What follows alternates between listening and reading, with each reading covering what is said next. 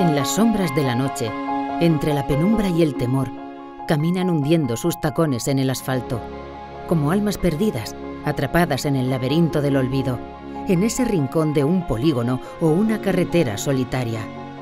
Vislumbran los faros de aquellos vehículos que paran a unos metros, conducidos por el peso de un mundo que las juzga, las olvida y las margina en estancias de placeres sin alma.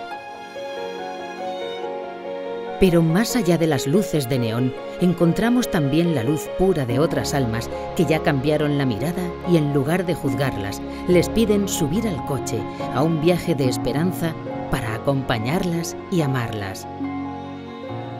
Las mujeres que se encuentran en estas situaciones son mujeres que pues, conllevan eh, muchas historias, eh, mucho sufrimiento, son mujeres que vienen muy rotas. Y, y acompañamos a mujeres que están en situación de prostitución, eh, nosotros decimos también que recorremos con ellas un camino, no, solamente es, pues trabajamos, sino vamos haciendo camino con ellas. Son mujeres que llegan al corazón angustiado de otras mujeres para ayudarlas a recuperar su dignidad, que caminan a su lado, abriendo puertas a una nueva vida.